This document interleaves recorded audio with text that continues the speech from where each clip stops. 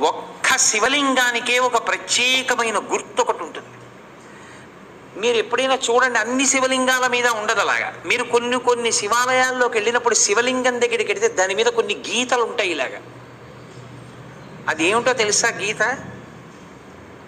అలా గీత ఎందుకు ఉంటుందో తెలుసా ఎవరికైనా? అలా గీత ఉంటే దాన్ని బ్రహ్మసూత్రము అని పిలుస్తారు. అలా గీత ఉంది అంటే నీ అదృష్టం పండి నువ్వు అక్కడికి వెళ్ళావని గుర్తు. వెయ్యి మాటలు ఓ శివాలయంలోకి వెడితే నీకు ఎంత ఫలితమో అలా గీతలు ఉన్నటువంటి శివలింగం ఉన్న గుళ్ళోకి వెడితే అంత ఫలితం.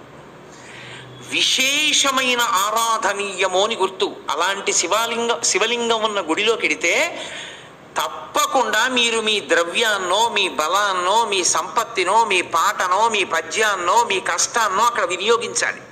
శివలింగం మీద గీతలు కనపడ్డాయి అనుకోండి బ్రహ్మసూత్రం ఉందనుకోండి బయటికి వచ్చి కాళహస్తీశ్వర శతకంలో రెండు పద్యాలు చదవాలి.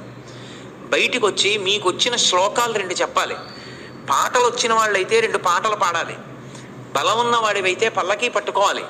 లేదా గుడి కొంచెం సేపు తుడిచి వెళ్ళిపోవాలి.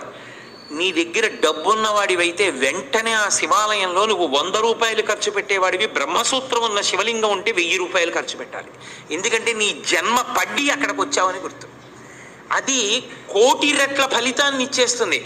ఒక రుద్రాభిషేకం ఒక చోట చేస్తే ఏ ఫలితమో బ్రహ్మసూత్రం ఉన్న శివలింగానికి చేస్తే కోటి రెట్లు. విశేష ఆరాధనా ఫలితముని ఇచ్చేస్తుంది ఆ శివలింగం.